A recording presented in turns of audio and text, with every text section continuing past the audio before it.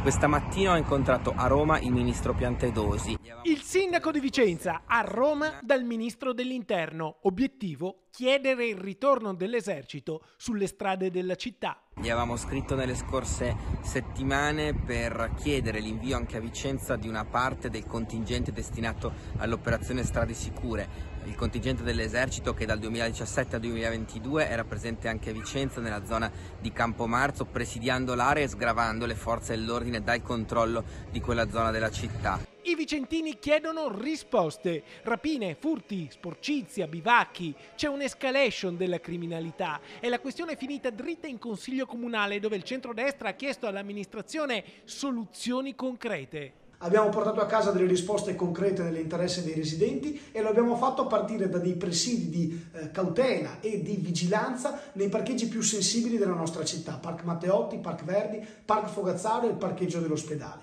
Abbiamo chiesto un rafforzamento intenso delle telecamere in città e una videosorveglianza integrata tra forze dell'ordine, commercianti e residenti.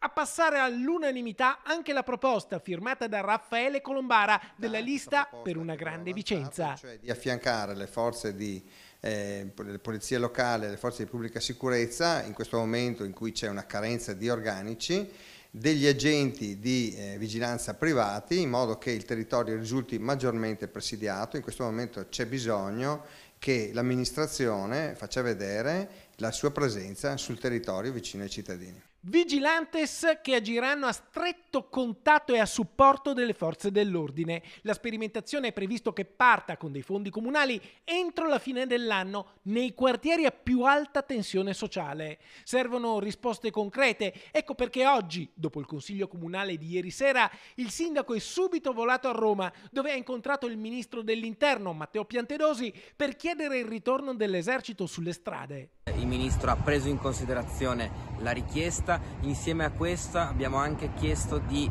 aumentare il numero di agenti delle forze dell'ordine sul territorio. Insomma, un incontro positivo con il ministro di centrodestra e su questo punto l'ex sindaco Francesco Rucco non può che ricordare che anche lui aveva chiesto un incontro col ministro dell'interno, ma del governo precedente.